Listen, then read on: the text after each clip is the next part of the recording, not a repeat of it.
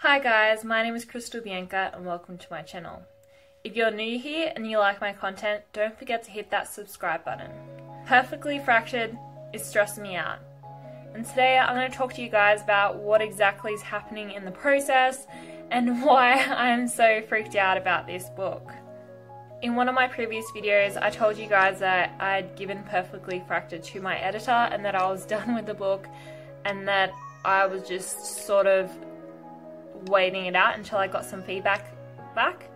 And I actually did end up getting some feedback from my editor. And when I did, I was just a bit overwhelmed because I realized that I am not done with Perfectly Fractured and that there's still changes that need to be made.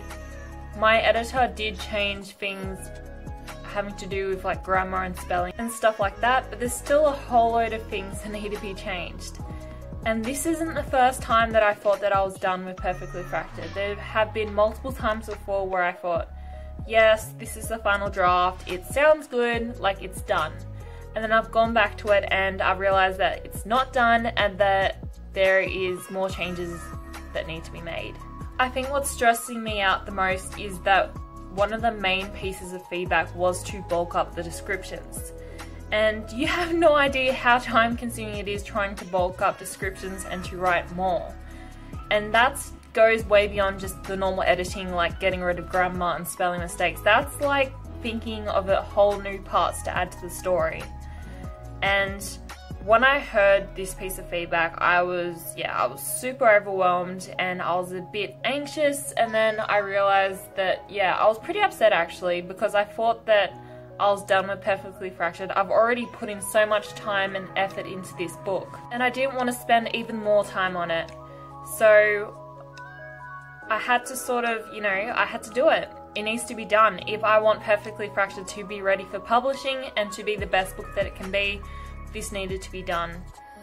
So I'm a bit of a workhorse. Once I hear something's wrong with my book, I want to fix it straight away. I don't want it just sitting there because then it becomes even more overwhelming. So I got started with editing straight away. So my editor had edited half my book. So that's around 150 pages. So I got out the document, I saved it as something separate for an editing document, and then I started making all the changes. I think even starting off, I added like two pages to the beginning of the book. That's how much I've chunked up some of this information.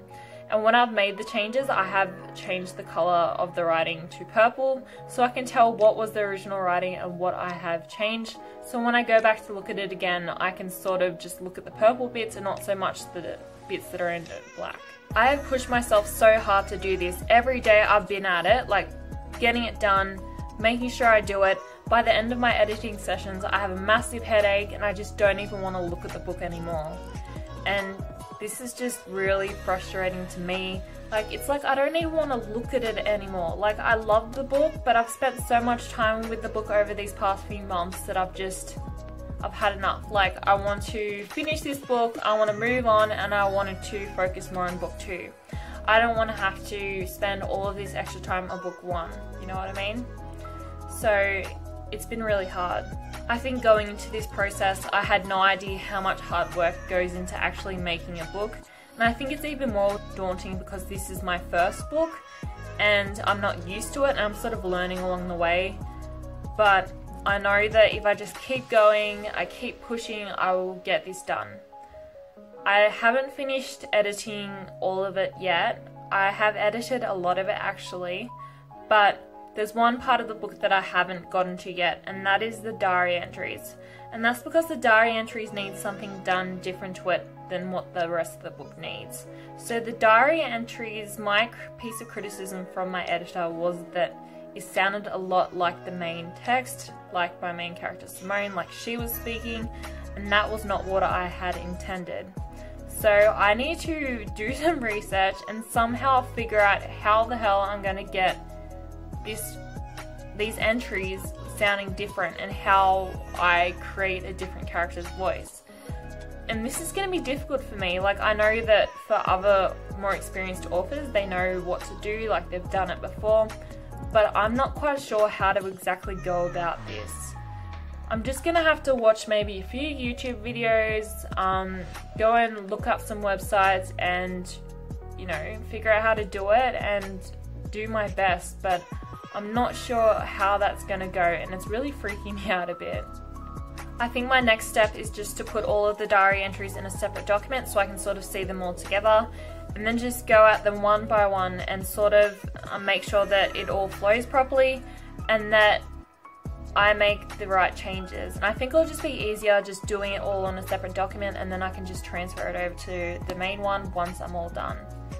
So this is still like, my book is still on more so like an editing sort of document. It hasn't even been transferred to the main proper document where I'm going to have like the first pages of the book and the last pages of the book. So all that formatting still needs to be done as well. This is just so exhausting. It's just so much and it's so tiring and I've had enough and I'm whinging and I shouldn't be, but yeah, Perfectly Fractured is really frustrating me right now. Once I've got those changes done, I'm going to wait for my second round of feedback and then do even more editing. But I will keep you guys updated. If you guys have any questions for me, drop them down in the comments down below. And if you like this video, don't forget to like and subscribe. Thank you for watching. Thank you.